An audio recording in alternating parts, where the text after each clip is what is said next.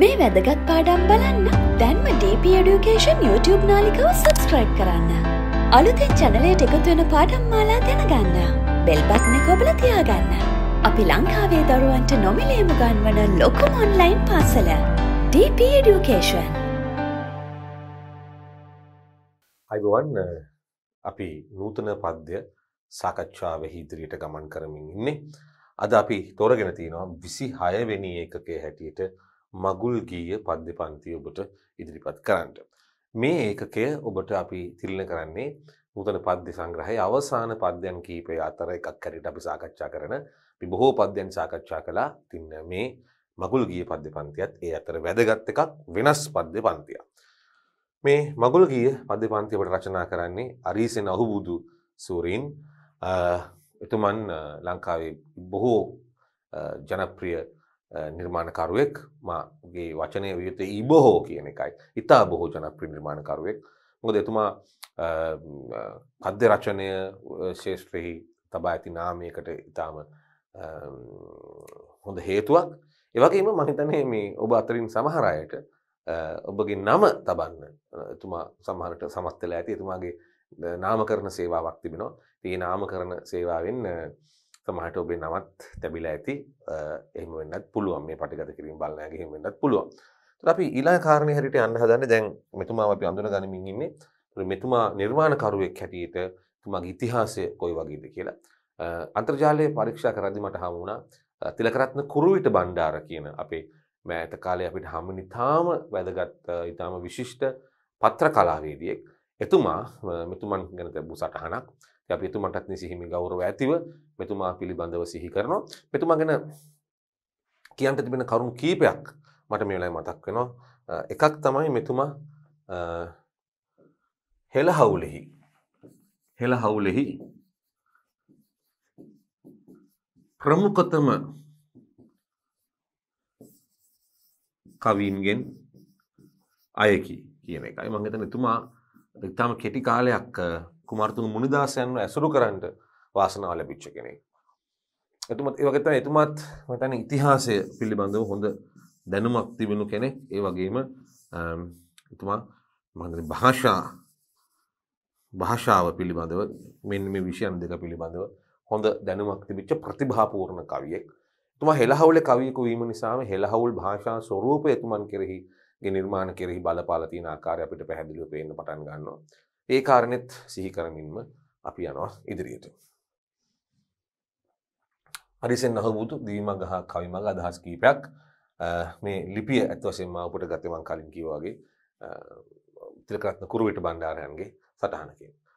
කොග්ගල ප්‍රාඥා අභිධානයෙන් සුපතල මාටින් වික්‍රමසිංහන් දිනූ තැන් සිට දිනූ කියැන ඉපදුණු දට භාෂාවට්‍යයක් ඉගෙන ගන්න පුළුවන් මේ ලිපිය කීවද ඉපදුණු තැන සිට නෙත් කැලුම් වැටෙන මානයේ කොග්ගල මලලගම මුදිල්ල ගහවත්තේදී. එක්දස් නමසී විස්සේ මාර්තු දහට වෙනිදා ඉපිත දෙදස් එකොළහා මැයි විසිහය වෙනිදා සුරලෝ පණ්ඩි සබයට ගිය අරිසෙන් අහ බුදු සූරීහුද සිය ජනමුලෙහි මහත් හරිසරට නිස්සෙක් වූහ. ඇත්ත වශයෙන්ම හරසර ලබන්න සුදුස්සෙක් නිස්සෙක් යැන සුදුස්සෙක්. එතුමා අපේ රටේ සාහිත්‍යයට ලැදි ජනතාවගේ හරසර ලබන්නට සුදුසු කෙනෙක් ඒ බව ඔබට දැන් මේ අපි කියන මේ කවියනුත් පැහැදිලි වෙනවා. අද අපි සාකච්ඡා කරන පද්දේනුත්. කුමරතුමුන් දැල් වූ ලක්මිනි පහනෙහි සබඳිදායකයෙකු වූ ඔහුගේ සීයා කෙනෙකුන් වූ සලමන් වතු ගෙදරයෝ බිලිඳු අහුබුදුවනට ඇසෙන්න්නට ගුත්තිලය කුසදාකව අන්ද බූධ ජාතකය හඬනගා කියවූහ දස හැවිරිදි වන විට පොත්තුනම කටපාඩමින් කියන්නට අහුබුදු පටන් ගත්තේය. බාලකාලයේදිම ලද රසවත්කම හේතුවෙන් අහු බුදුවෝ බස කෙරෙහි ලොල් වූහ බලන්න මේ බලන්න මේ බෝඩ් එක දිහා බස කෙරෙහි ලොල් වූහ මොකක්ද මේ බස කෙරෙහි ලොල් වූහ කියලා කියන්නේ. බස කෙරෙහි ලොල් වූහ කියලා කියන්නේ භාෂාවට ආශාව වූවා. එදා බසෙහි රස අවුස්සා දුන් බසින් ගත හැකි වැඩ පෙන්වා දුන් කුමාරතුංග මුනිදාස පඬිවරයාණන්ගේ සෙවනට පත්වීමෙන්ද නොතිත් ඇල්මෙන් පොතපොත සේවනයෙන්ද බසිසුරු කම්ලත් හේ කුඩා කල ගමේදි දුටු බ්‍රම්පෝඩ් නාගදගම දිනතර නාඩගම ඔස්සේ ගීයට නැඹුරු විය. බලන්න හොඳට පොත්තපත කියවපු කෙනෙක් හොඳට දේවල් නරඹපු කෙනෙක් කියවීමෙන් සහ නැරඹීමෙන් පෝෂණය වෙච්ච මනසක් තිබුණු කෙනෙක්. ඉන් ලතාභාසයෙන් එකල්හිම විදුර ජාතක නාඩගමක් රචනා කොට පන්සල අසල රඟ දැක්වීය. මේවා බැලූ බැලමට ඔබට විචාරයකට ලියන්න ඕන කරන කරුණු නෙවෙයි. හරි හැබැයි විචාරයකට ලියන්න ඕන කරන කරුණු නොවුවත් මේ කරුණු ඇසුරෙන් අපිට වටහා ගන්න පුළුවන් එයාගේ පසුබිම එයා කොයි වගේ නිර්මාණකරුවෙක්ද අරීසෙන් අහුබුදු කියන නිර්මාණකරුවා ගොඩනැගුණු පසුබිම කුමක්ද කියන කාරණේ අපිට වටහා ගන්න මේක ඉවහල් වෙනවා කියලායි මම පෞද්ගලිකව හිතන්නේ.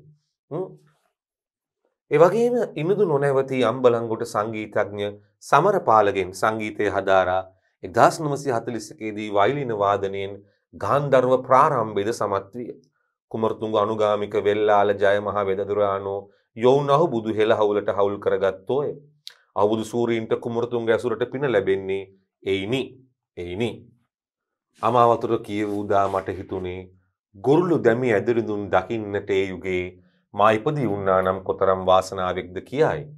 බුත්සරණ කියවද්දී බිදුසක් විති කිවියන් ගැනද කෞසිලුමින සදහම් රුවන් වෙල කියවද්දී මහලු පැරකුම්බා නිර්දුන් දහම්සෙන් හිමියන් ගැනද වෙන වෙනම එසේ සිතා දුක්මුනිමි.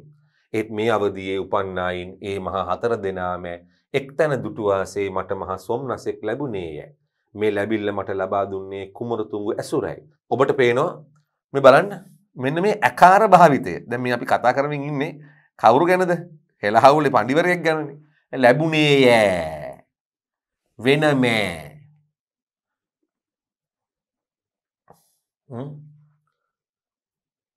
ගැනද කුමරතුංගු මේ අර ඇකාරයයි හතර දෙනා මෑ ඇකාරයයි මල්ලට ආවෙනික යක් බොහෝ විට පාවිච්චි කරපු ඇකාරය සහ මේ මේ මේ සංඥක භාෂා සංඥක සහිත තත් තත් භව පද බාහුල්‍යය නේද?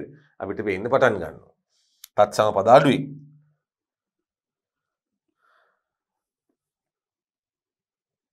බලන්න. තව අපි උපුට ගත්ත එතුමගේ අදහස් ටික. කුමරතුංගුවෝ කිතු වසින් 1887 වැන්නේ ඉපිදෑ. ඉපැදී. 1944 වැන්නේ මලෝය. ඔවුන්ගේ දිවිය සත් 50 වසරකි. ඉන්මාලද ඇසුර පස් වසරයි. ඉනුත් අවසන් පස් වසරයි. කුමරතුංග ඇසුර නමින් මේ පස්වසර ඇසුර ඇතැම් විත්ති කියලා උගේ කිසියම් කෘතිය කන්තර්ගත වූ කොටසකුත් මෙතන තියෙනවා. ඒ කියන්නේ කුමාරතුංගන්ගේ ඇසුරට මේ මේ අවුරුදු පහක් පත්වන්ට ලැබීම මම හිතන්නේ අරිසේන අහුබුදුන්ගේ විශාල වාසනාවක් සහ ඔහුගේ සිතන පතන විදිහ වෙනස් කරන්න හේතු වෙච්ච එකක්. වෙල්ලාල ජය මහා මහ කිවියානන්ගේ අසරින් පුවත්පත්වලට යම් යම් විට සුළු සුළු පැදි පබඳුම් මා ලීවා මිසක් යම් කිසි දවසකැවත් ගතක් ලියා තැබිය යුතු යන හැඟීමක් එදා මට ඇති වූයේ නොවේ. එහෙත් මෙහිමෑ එකැන කුමරතුන් ඇසුර කෙන පොතේ එක් තැනකෙන වෙසක් පඩුරෙහි මාලියූ කව්පෙලට කුමරතුංගුවන් තුන් දෙනෙකුගේ තුන් සරසවියෙන් නවත් ෑ විසින් තැනක්දීමත් මුලින් මෑ අමුූදා ගුරුන් ඉදිරියේ මට කළ පැස්තුමන් නිසා මාසිතට මහ දිරියක් ඇතුළු වූ බව කිව යුතුය කිව යුතුය. මම ඒ දිරි ඉදිරි කැරගෙන ලිවි සැරියට සේවාවක් කිරීමට ඉටා ගත්තෙමි. ඒත් කුමරුතුංගුවන්ගේ අදහස් මත ඈ නොවිමසා දෙව් බසක් සෙයින් ඇදහීමේ දුගුණේ දුබලතාව මා කෙරේ වීය. දිනක් කුමරතුංගෝම ඒ ගුණයට තදින් පහරදී මා මහ විලියට පත් කළෝයයි. මා සේම මේ යුගයේ හෙළතුරුණු පෙර නිදහස් සිතීමට බස් වූ කෙනෙකුන් හැටියට මම කුමරතුංගුවන් අගය කෙරෙමි. එක වෙන කතාවක්. ඔය කුමාරතුංග මුනිදාසයන්ගේ හෙළහවුලට තිබිච්ච එක චෝදනාවක් තමයි හෙළහවුල හිටපු අය කුමාරතුංග මුනිදාසයන්ව අන්ධානුකරණය කළා. එයා කියන ඕනම දෙයක් හරි කියලා කිව්වා.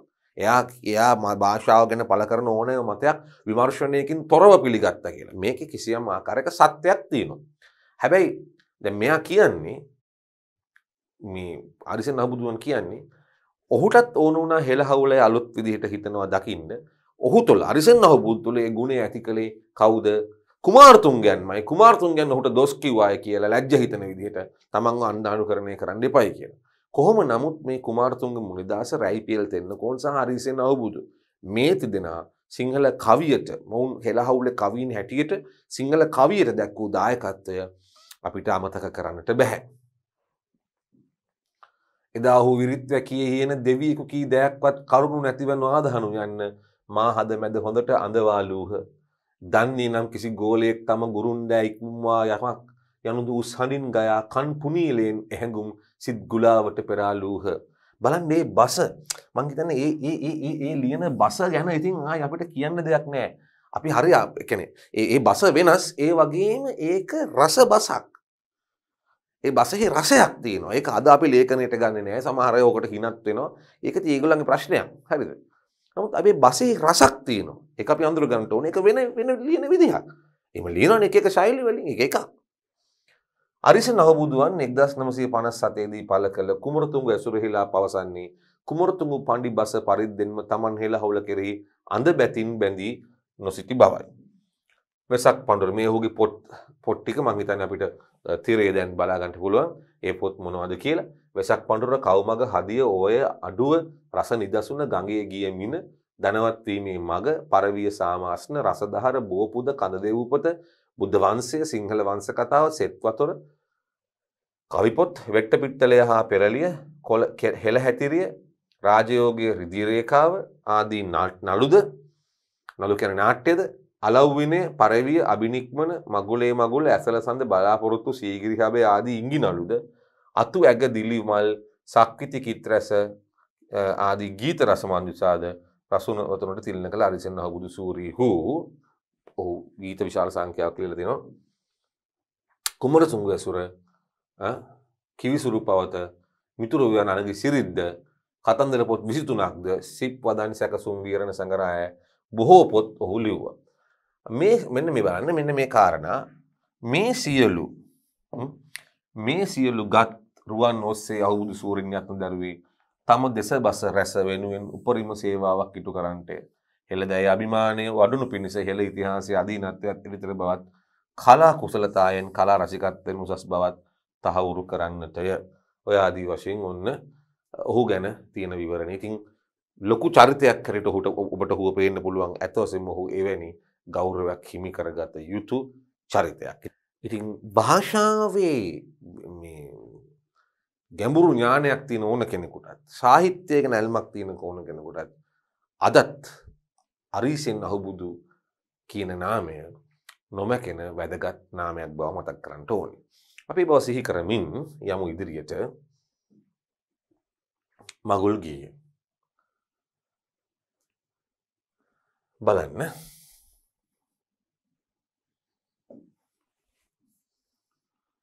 මල් ගොමු ගොමු ගොමු ගන්වන්නේ මී වදවල පැණි පුරවන්නේ කුරුළු සරින් කන් පිනවන්නේ මුළු ලොව උයනක් කරවන්නේ. ජම්බු ගහට රත පොරවන්නේ බක්මී ගහ කහ අන්දන්නේ. අඹ දළුලා රත තවරන්නේ ලෝකත විසිතුරු කැරලන්නේ. එරබොදු පැහැයෙන් දුලවන්නේ නාගස් සුවඳින් බැඳලන්නේ. විලේ නෙළුම් මල් පොබ යන්නේ නෙත ගිය ගිය අත පනවන්නේ ගමෑම ගමේම පුහුලන් ඉදවන්නේ සොරුන් බවට වවුලන් ලන්නේ නෙතැන වවුල් පලවල් දෙන්නේ ගම් දරුවන් හට වැඩ දෙන්නේ මල් සරහට හි සපයන්නේ යොවුනන් සිත් ඉන් බැඳලන්නේ දෙක දෙක එක්කර ඈදන්නේ නොමිලේ කපුකම් කරවන්නේ වෙන් වූවන් සිත කලබන්නේ පැරණි තරහ හැම යටලන්නේ ආයෙත් එක මුතු කරවන්නේ පවුල් අවුල් විසඳාලන්නේ කොල්ලන් කෙල්ලන් පොබ යන්නේ මහලු සිතෙත් කෙලිරෙස්ලන්නේ කෙලිරිසිලන්නේ ගෙයි ගෙයි බක්වෙස් ගන්වන්නේ අවුරුදු කිරිබත උයවන්නේ. දස දෙස සුවඳින් බැඳලන්නේ ගතට සිතට නව පණ දෙන්නේ කුඹරට ආසිරි සලසන්නේ රට වට සොම්නස සොම්නස ගෙන යන්නේ. සිසිර කුමරි පස්සට ලන්නේ ගිම් කුමරිට පෙරටුව එන්නේ දිනිසුරු කුමරුට අත දෙන්නේ ලොවට මෑ මගුලක් සලසන්නේ. දැන් බලන්ඩ අපි මේක කතා කරන්න යම් මේ කවිය ඇත්තටම කියන්නේ අපේ වසන්ත කාලය ගැන. ගත්තොත් මූලිකව ලෝකයේ රිත්තු බේදය නැත්තං නේද මේ ඉරුත්තු බේදය කියල සාමනි හරක. ලෝකෙ මේ විරුතු බේද සාමාන්‍යයෙන් ලෝකෙ පේන්ඩ තියෙනවා මේ සමහර රටවලන දම් සමකාසන්නේ ජීවත්වන අපේ වගේ රටවල එහෙම තදට පේන නැහැ ඉරුතු බේදයක් නමුත් අපි හදාගෙන තියනවා ටිකක් කිවසිල්ලෙන් නිරීක්ෂණය කරලා.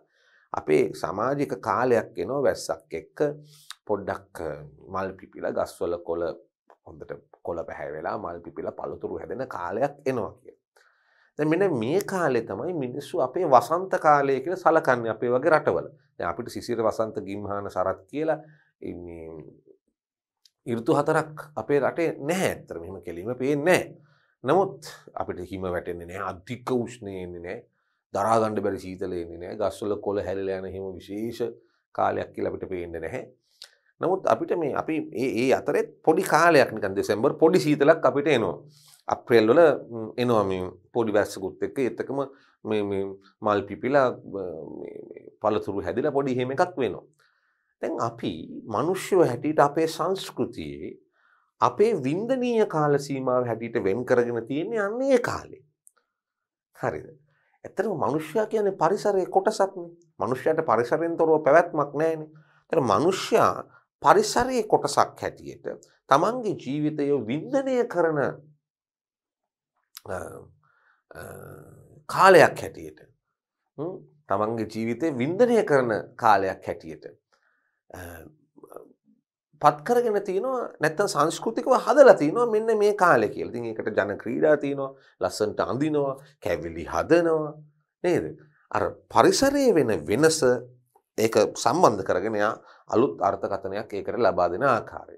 ති මංහිතන්නේ මම මූලිකව කියනට ඕනිවාලට මෙන මේ කාරණය තමයි අපි සාමාන්‍යෙන් තේරුම් ගන්නට ඕනේ අපි අපේ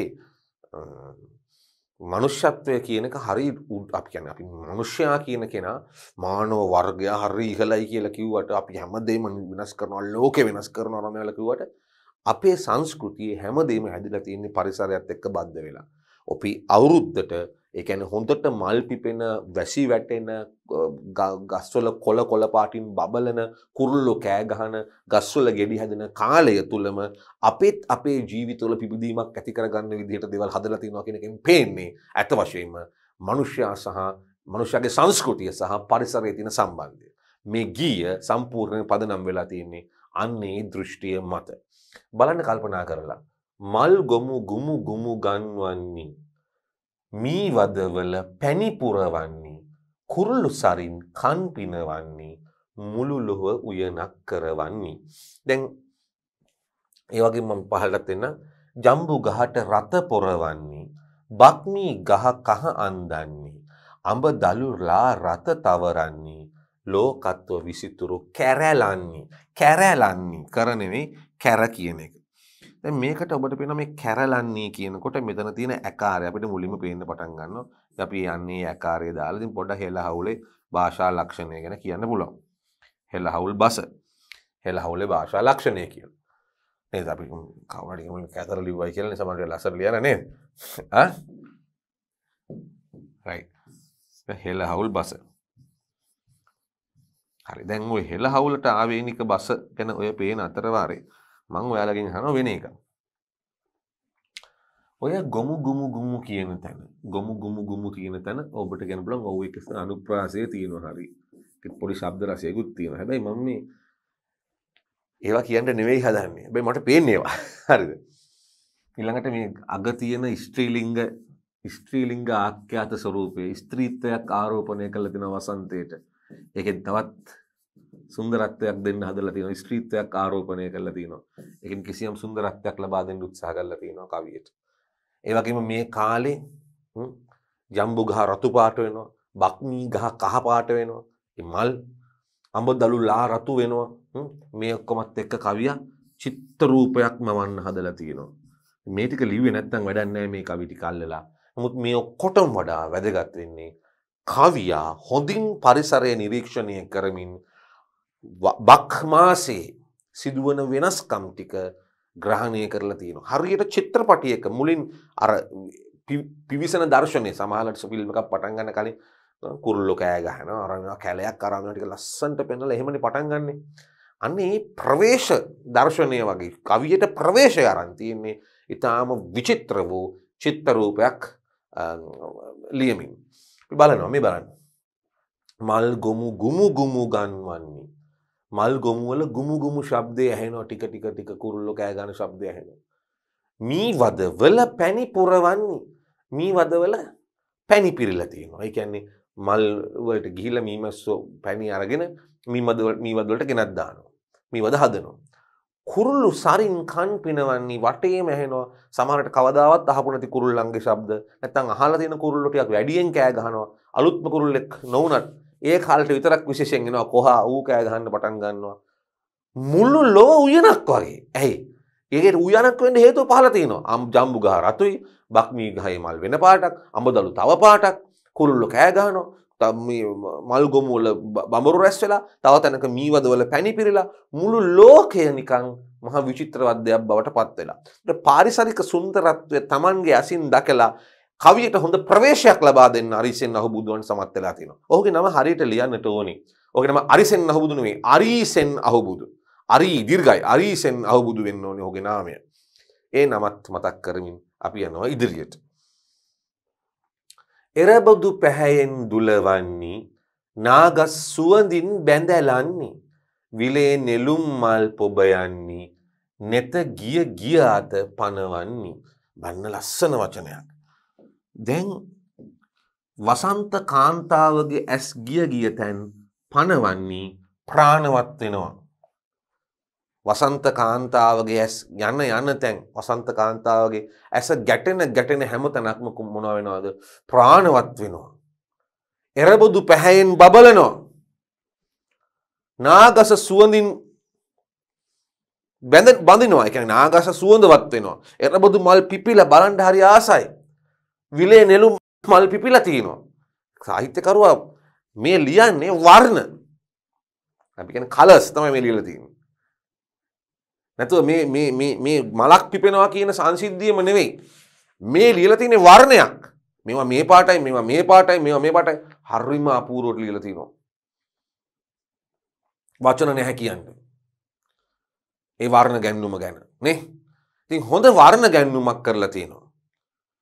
ඒ වර්ණ ගැන්වීම ගැන වැදගත් කාරණය තමයි එරබොදු මල් වල පැහැය නාගසේ සුවඳ විලේ නෙළුම් මල් පිපිලා මේ වසන්තය කියන ස්ත්‍රියගේ නැත්තම් වසන්ත කාන්තාවගේ ඇස් යන යන තැන් වලින් වර්ණම පේනවා හැම තැනම ජීවයක් ප්‍රබෝධයක් තියෙනවා. ගමේ මැ පුහුලන් ඉදවන්නේ මෙන්න පොඩි හාස්‍යයක්. සොරුන් බවට වවුලන් ලන්නේ. ගමේම පූල්ලන්ටික ඉදවලා වවුලන්ව හොරු බවට පත් කරන ඇයි? ඇයි වවුලො ගිහිල්ල? යෝ කනවන ගිල් කජුපුහුල නෙතැනෑ වවුල් පලවල් දෙන්නේ. නෙතැනෑ.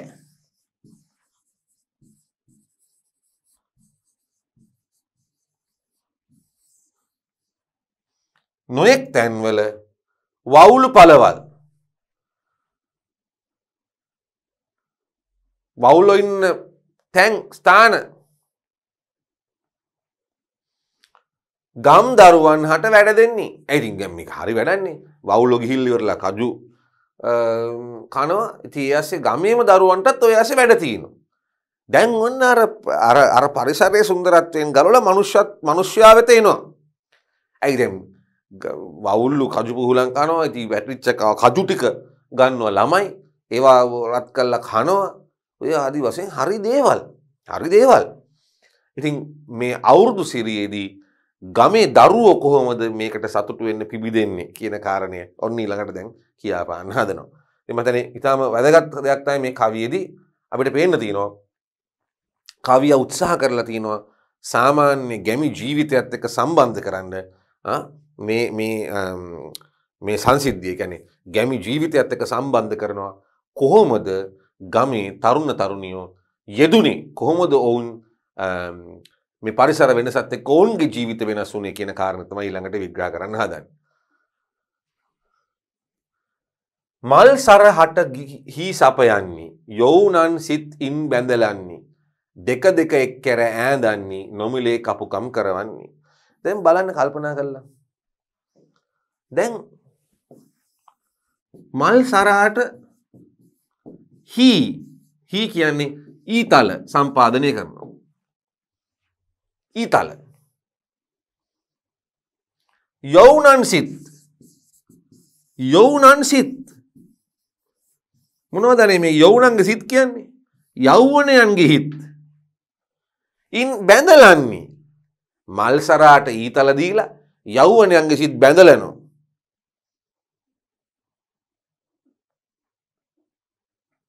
හරි ඒ තරක් නෙවෙයි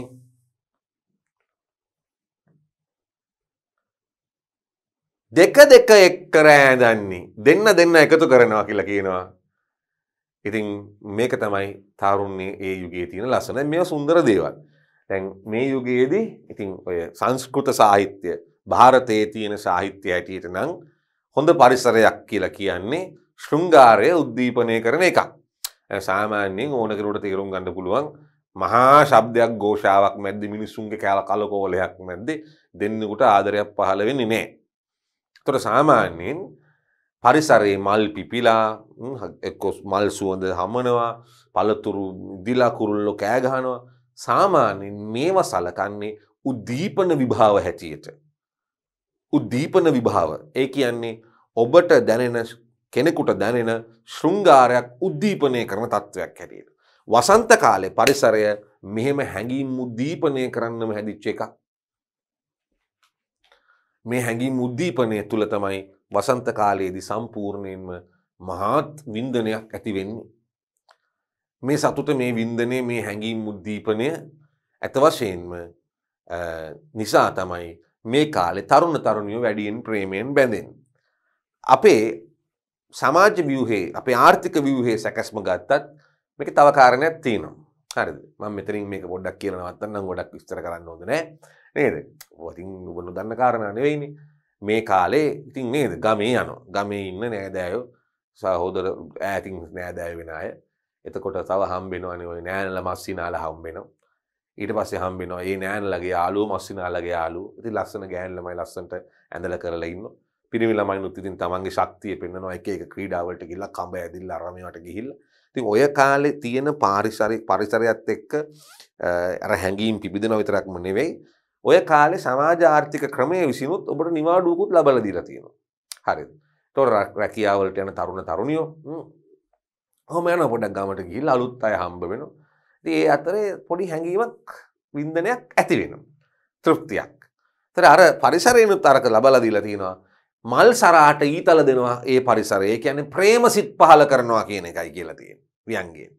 ප්‍රේමසිත පහල කළා තරුණ තරුණියන් එකතු කිරීම කරනවා කවුරු විසින්ද මේ මේ කාලය විසින් වසන්ත ස්ත්‍රිය විසින් හරි වසන්ත කාලය විසින් මෙන්න මෙහෙම කරලා මේ දෙන්නෙක් එකතු කරන්න ඕන කරන පරිසර තත්ත්වය හදනවා සමාජාර්ථික වශයෙන්ුත් ඒ තත්ත්වය හැදිලා තියෙනවා නේද ඊළඟට අපි යනවා පහලට වෙන් වූවන් සිත කලබන්නේ පැරණි තරහ හැම යටලන්නේ ආයෙත් අව එකමුතු කරවන්නේ පවුල් අවුල් විසඳාලන්නේ දැන් වෙන් වෙච්චාගේ හිත් කලඹනවා. නේ දැන් ගම් ගෙවල් වල කතා වෙනවා. නේ දැන් මේ පාර අවුරුද්දට මොකද අපි කරන්නේ අල්ලපු ගෙදරට කැම්පින් ගානක් යවනවා. ඒ මිනිස්සු අපිට කැම්පින් ගානක් එව්වොත් යවමු. නෑ මේ මිනිස්සු වෙනකන් ඉන්නේ මොකටද? තරහ මරහ තියාගන්න එකද හොඳ අවුරුද්දේ අපි හැමෝම එකතු වෙන්න ඕනේ කියලා එකතු වෙනවා. එක්ක කැම්පින් ගාන යවා ගන්න වැඩේට පස්සරම් පදනම් වැටෙන්නේ ගමේ අවුරුදු උත්සවයක් තියෙනවා.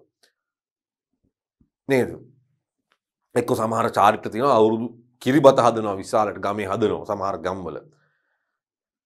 ගමේ අවුරුදු උත්සවයෙන්ට පුළුවන් ක්‍රීඩා වෙන ක්‍රීඩා වෙන්න පුළුවන් ගෙවල් අසල් වැසි ගෙවල් කීප දෙනෙක් දරුව එකතු වෙලා පංච පංචායත කොට ඔය දාදු කෙලි ඔය වගේ ඊට අමතරව ඉතින් අද නූතනයේ ඔය කනා මුට්ටි බිඳීම අලියට හැ තැබීම වගේ ක්‍රීඩා පුරාණයේ මිට වඩා වෙනස් ක්‍රීඩා තිබුණා මේවා ත්‍රාහාර බෙදා ගන්නවා ඉතින් මේ වගේ ඒවා නිසා වෙන් වෙච්ච හිත් එකතු වෙනවා පවුල් අවුල් විසඳනවා පවුල ඇතුළෙම ඉන්නවා එළිය කට්ටියත් එක්ක තියෙන ඒවා කැම්පින් අරන් මේවල විසඳ ගන්නවා පවුල ඇතුලේ පොඩි පොඩි තරහ මරා තිනවත් ඉතින් වැඩි හිටියෝ දරුවෝ අතර නැත්නම් සහෝදර සහෝදර තිනවා විවරයි. තෑග්ගක් දීලා වඳිනවා. බුලත් දෙනවා. නේද? ඉතින් ඕවයින් ඔය බලන්න ඔබ කල්පනා කරන්න මේ කවියේ තියෙන යටි පෙළ තමයි මිනිසා කියන්නේ පරිසරයේ කොටසක් මිනිහගේ සංස්කෘතිය ගොඩනැගිලා තියෙන පරිසරයට යටත් පරිසරයත් එක්ක සම්බන්ධව. එහෙනම් මේ පරිසරයේ තියෙන වෙනස්කම් මිනිහගේ සංස්කෘතියට කොයිතරම් බලපෑම් කරනවද කියන එකයි මේකෙන් පෙන්눔 කරන්නේ. හ්ම්. ගමන් කරමු ඉදිරියට. කොල්ලන් කෙල්ලන් පොබ යන්නේ මහලු සිතෙත් කෙලි රිසිලන්නේ ගෙයි ගෙයි බක්වෙස් ගන්වන්නේ අවුරුදු කිරිබත ඔයවන්නේ කොල්ලො කෙල්ලො පිබි දෙනවා මේ නිවාඩු කාල අල්ලගන්නව බෑ රැහේ වැටල යනවා ගිල්ලා දැ මහිතනේ අප රටේ අධ්‍යාපන ක්‍රමීතින සමහර කාරණ නිසා සමහර ළමයින්ට ගමට අන්ඩත් නෑ. අවුරුදු අප්‍රේල් නිවාඩු ඉතාම කොටයි. ගමේ යන්නේ නෑ. එහෙම දෙවල් තියෙනවා. ගිල බලන්නේ නෑ. ගමක යනවා කියලා ඉතින් හැමෝම ගම ගමක් නැති වෙන්න පුළුවන්. නමුත් ඒ ඒ ළමා කාලේ විඳින්න උන්ට අවස්ථාව දෙන්නට ඕනේ අනිවාර්යෙන්. ඒ නිසා අවුරුදු කාලේ ඔබ ආරම්භ බැලුවොත් එහෙම කොල්ලෝ කෙල්ලෝ ප්‍රබෝධමත් වෙනවා. පොබ යන්නේ ප්‍රබෝධමත් කරනවා. මහලු සිතෙත් කෙලිරිස්ලන්නේ මේ වයස කාටත් ක්‍රීඩා කරන්න හිතෙනවා. බැරි බැරි ගාත ගිහිල්ලා යම් යම් සෙල්ලම් කරනවා. හරිද? අලියට ඇහැතියන් යනවා. කන මුට්ටි ගහන්න කියලා සමහරලාට අල්ලපු ගෙදර එක්කන ඔලුවටත් ගහනවා. වැරදිලා ගිහිල්ලා. නේද? එක එක ක්‍රීඩා කරනවානේ. දැන් ඔය අවුරුදු ක්‍රීඩා වලට පිබිදිලා යනවා ගම අරහා දුවනවා හරිද අන්දයට කිරි කවනවා. එක එක සෙල්ලම් අලුතෙන නේද? බනිස් කෑමේ තරඟය. බිත්තර ඇල්ලීම. ඔය වගේ අලුත් ඒවාත් දැන් ඇවිල්ලා තියෙනවා මේවට. මීට අමතරව පොරපොල් වගේ ඒවා. ඊටඟට මේ මේ ලිස්සන ගහේ නැගීම කොට්ට පොර. ඔය ක්‍රීඩාවලට හරි ආසාවෙන් ඉදිරිපත් වෙනවා. මේ ඉදිරිපත් වෙනවා. මේ මුළු ගෙයිම බක්මාසේ වේශය දරනවා හැම ගයක්ම. අවුරුදු කිරිබත වූහම මහා සශ්‍රීකත්වයක් එනවා. බලන්ඩ සංස්කෘතියයි අර පරිසරය වෙච්ච වෙනස සංස්කෘතියටද කරලා තියෙන තල්ලුව. දස දෙස සුවඳින් බැඳලන්නේ ගතට සිතට නව පණ දෙන්නේ කුඹුරට ආසිරි සරසන්නේ රට වට ඇසොම් නස්ස ගෙන යන්නේ රටම සන්තෝස කරනවා කියලයි කියලා තියෙන්නේ. දැන් සිසිර කුමරි පස්සට ලන්නේ ගින් කුමරිට පෙරටුව එන්නේ දිනිසුරු කුමරුට අත දෙන්නේ ලොවටම මගුලක් සලසන්නේ. කල්පනා කරලා බලන්න. සිසිර කුමරි පස්සට ලන්නේ. සිසිර කුමරි. ඒ කවුද සිසිර කුමරි කියලා කියන්නේ? සිසිර කුමරි කියලා කියන්නේ මතක තියාගන්න. ශීත ඍතුව කියන කුමාරියව පසුපසට දානවා. ග්‍රීස්ම කුමාරියට පෙරටුව එනවා. දිනිසුරු කුමරුට අත දෙන්නේ? දිනිසුරු කියන්නේ කවුද? දිනිසුරු කියන්නේ? සූර්ය කුමාරයට දෙනවා. මේකට කියන්නේ සූර්ය මංගල්‍යය කියලා. දන්නවනේ? ලොවටම මගුලක් ලොවටම යහපතක් සලසන ආකාරය වැඩක් තමයි මේ වෙන්නේ. කල්පනා කරලා බලන්න. මේ අර්ථයේ කවිය මම වචන ටික තමයි අතනම කිව්ව. මම විග්‍රහ කළේ නෑ. ඇත්තටම මේකේ තියෙන වාචාර්ථය මේ කියන්නේ කොයි කාලෙ කොහොමද මේ ආදි වශයෙන් මේ මේ යෙදිලා තියෙන්නේ කියලා මේ කල්පනා කරලා තියෙන කොයි කාලේ කොයි ආකාරයෙන්ද මේ මංගල්‍ය සිද්ධ වෙන්නේ. වැදගත්ම කාරණේ හිරු මුදුන් වෙන කාලේ දිනිසුරු කුමරුට අත දෙනවා කියන්නේ ඒකයි. අපි දන්නවනේ. හිරු කුමරුගේ මංගල්‍ය මේන් ඇවිල්ලා කියලා සින්දු තියෙන අවුරුදු කුමාරයා කියන්නේ හිරු කුමාරයා එනවා කියලානේ කියන්නේ. සූර්යයා මීන රාශියෙන් මේෂ රාශියට එනවා. නව සූර්ය මංගල්‍යයක් ලෝකයේ මේ සම්බන්ධ ඉතිහාසය වෙනම කතා කරන්න පුළුවන් වෙනම ගවේෂණය කරන්න පුළුවන්. මම එච්චර ගැඹුරට යන්නේ නැහැ. සූර්ය මංගල්‍ය බවත් අවසානයේ මම මතක් කරමින් තමයි කවිය අවසන් කෙරෙන්නේ. යතරවාරය අපි නො ඉදිරියට. අත්දැකීම බක්මා සේවත් වසන්ත උදාවත් සමඟ පුද්ගල ජීවිත වෙනස් කරන පාරිසරක සෞන්දර්ය කවියාගේ විමසුම් මැසට හසුවෙයි එක පාරිසරක වෙනස පදනම් කරගත් සංස්කෘතික වෙනස ලාංකික අතර සැනකෙලි සිරිය උද්දීපනය කරන ආකාරය කවියට නැංවීමට කවියා උත්සාහ කර ඇත. සඳැස් සිව්පදෙලිසම කාව්‍යාකෘතියෙන් තමයි ලියා තිබෙන්නේ. සඳැස් සිව්පදෙලිසම කාව්‍යාකෘතිය. ඒවගේම භාෂාව මතු පිටින් බලන කල සරල වුවද ව්‍යක්ත මුහුණගේ උද්භාෂාවක් භාවිතයට හෙළ හවුලේ බස් ආහාර පිළිබිඹු වෙනවා කියන එක අපිට නැහැ කියන්නට බෑ. දෘෂ්ටිකෝණය ප්‍රථම පුරුදු දෘෂ්ටිකෝණය එළියෙන් ඉඳලා බලන්නේ බලලා තමයි ලියන්නේ වැදගත් කාරණේ තමයි ස්ත්‍රියකට ආරෝපණය කරලා තියෙන එක කවියෙහි විවරණය වන චරිතය. කාව්‍ය අලංකාර පුද්ගලාර්ථාරෝපණය වසන්ත කාලයේ ස්ත්‍රීකට ආරෝපණය කිරීම උත්ප්‍රේක්ෂාලංකාරය එකන්නේ ස්වබාදහමේ සිදුවන දෙයක් අන්න ආකාරයකට දක්ක පෝස්ථා ඕන තරන්තින උදාහරණ දෙකක් දාලතිනවා ජම්බු ගහට රත පොරවන්නේ බක්මී ගහ කහ අන්දන්නේ අනුප්‍රාසය ගුමු ගුමු කියලතන මං පොඩ එකතු කරනවා එකට මල් ගොමු ගුමු ගුමු නේද? ගොමු ගුමු ගුමු. ඒකෙන් ඇවිල්ල තියෙන ආක් බලන ලස්සන කොයි තරන්ද කියලා. සෑම කවියක්ම අවසන් වන්නේ ශ්‍රිලිංග ආඛ්‍යාතයකින්. චිත්තරූප අතිශයෝක්තිය මෙන්න මෙම භාවිත වෙලා තියෙනවා කාව්‍ය අලංකාර සම්බන්ධයෙන්.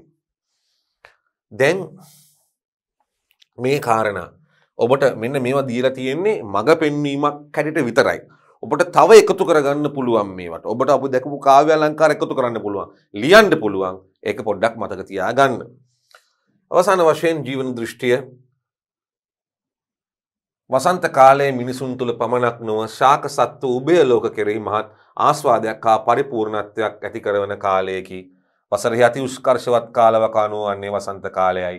එනිසාම කවියෙන් වසන්ත කාලය ඇති වැදගත්කම අවධාරණය කෙරෙයි. වසන්ත කාලය තුළ මිනිසාගේ සංස්කෘතික ජීවිත සිදුවන වෙනස අපගේ අවධානයට නතු කරන්නටද කවියා සමත්වය කියලා තමයි කියලා තියෙන්නේ. මේ අනුව අපිට පේනවා අපි කතා කරපු කාරණේ කවියේ දෘෂ්ටිය හැටියට අපිට මතු කරන්න හැකියාවක් ලැබීම. හොඳයි. ඉතින් ඒ කාරණා සියල්ල සිහි කරමින් අපි මෙතනදී මේ කවියේ කටයුතු අවසන් කරනවා. අපි අරිසෙන් අහබුදු මහත්මය වඳුන ගත්තා. අපි කවිය විග්‍රහ කරගත්තා කෙටි සටහනක් බැලුවා. මේව සම්බන්ධයෙන් විචාර ගැන අපි ඉදිරියේදී බලමු. සමගන්නවා මේ පාඩමින් ඔබට ජයපතමින් ආයිබෝවන්. මේ වැදගත් පාඩම් බලන්න දැන්ම DP Education YouTube නාලිකාව සබස්ක්‍රයිබ් කරන්න. අලුතෙන් චැනලයට එකතු වෙන පාඩම් මාලා දැනගන්න. බෙල් බට්න කොබල තියාගන්න. අපි ලංකාවේ දරුවන්ට නොමිලේම ගන්වන ලොකුම ඔන්ලයින් පාසල. DP Education